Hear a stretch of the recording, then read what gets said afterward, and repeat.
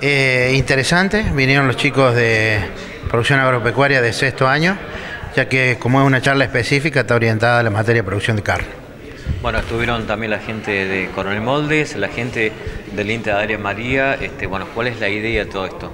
Bueno, la idea es eh, que en conjunto con la gente de Fomento Rural y del INTA este, sigamos haciendo charlas este, tendiente a la capacitación. Ahí este, Néstor Fran este, dice que estaría interesante hacer una campo, porque ahí se pueden ver algunas de las cosas directamente en vivo y en directo.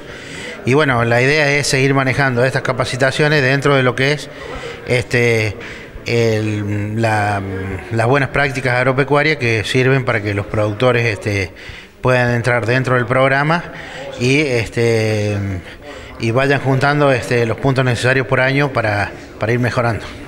Sí, creo que fue un punto interesante, ¿no? Esta articulación que hace Lepetaim, la Sociedad Rural de Maquena, la gente del INTA Molde Badelia María y sumarse a través de lo que es la propuesta del gobierno de la provincia sobre las buenas prácticas. Sí, la idea es trabajar con el Ministerio de Agricultura y Ganadería de la provincia de Córdoba, que es la que lleva adelante el programa. Y bueno, esta es una de las formas y de los nexos.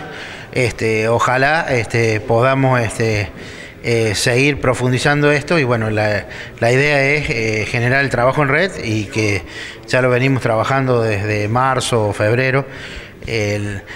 los locales más la gente que se nos, se nos viene este, sumando de, de moldes. Bueno, y hoy este, hemos tenido la presencia de la gente de la agencia del INTA de L. María que nos suma también técnicos. Eh, Ricardo, por último, bueno, eh, esto es interesante principalmente para los alumnos que se vayan capacitando para lo que es este año y también para el próximo ya cuando salen del colegio. Eh, mira, es, interesante y también yo creo que el, tema es eh, intentar que la gente que hace ganadería venga.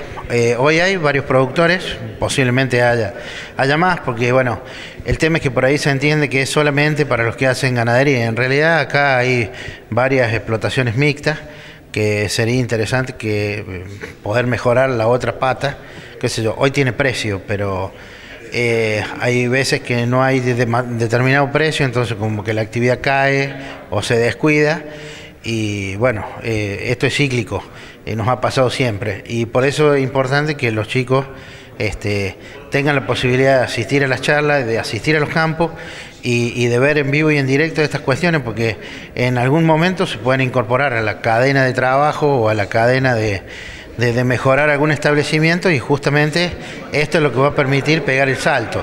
Eh, los números de ternero por vaca este, no son buenos, eh, en general si consideramos la Argentina, pero bueno, justamente como no son buenos, por ahí es hasta mucho más fácil llegar a mejorar eh, eh, un número que no está tan bueno contra este otro que este, estaría mejor.